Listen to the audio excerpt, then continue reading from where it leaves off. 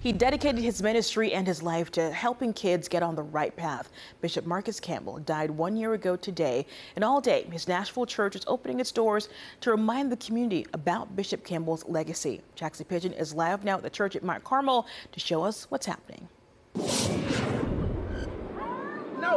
Well, Nikel, on this one year anniversary, his church is choosing to honor him by honoring his legacy of serving others. And there's nothing he loved more than helping better the lives of children. So you can see all the fun going on behind me. I'm going to step out of the way so you can see. I also did just get hit by a water balloon, but there's lots of fun going on. These are the types of events he would have to bring his community together.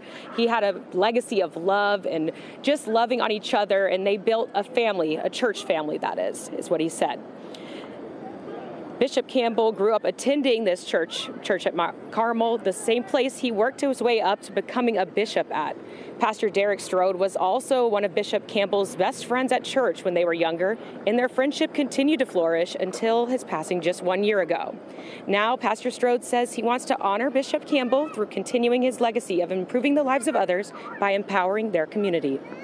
It was always just kids, uh, helping them just have a better future, getting the kids that may get caught up in bad decisions, leading into bad situations, and if it was a way possible to get them back on track so they can actually enjoy their life or become productive in whatever aspect of life that they wanted to, but just making sure that they knew it was more to life than just the corner, just the gangs and the drugs.